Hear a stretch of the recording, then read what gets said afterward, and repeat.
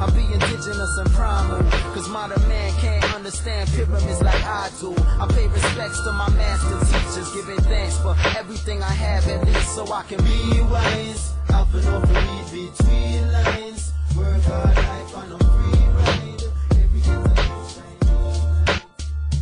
It was the tomb of wisdom. It was not a tomb for a dead pharaoh. It was a symbol of the gateway uh, to the other world and the way to return to it again. These buildings were memorials to the divine power.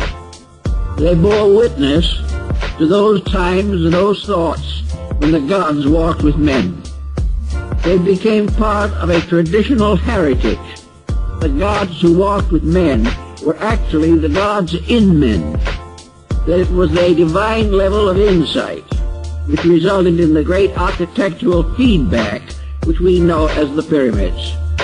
That at the time the pyramid builders labored, they had a knowledge among themselves that had not been distributed to the people, and that there was a cult or sect of architects and artificers, uh, the builders of monuments, who knew the proportions and mathematics.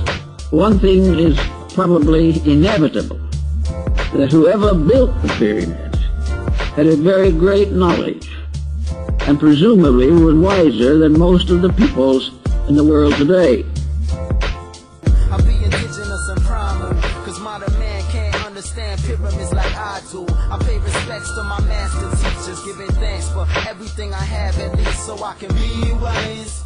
Read between lines. Work hard life on a free ride. Every get a new shiny.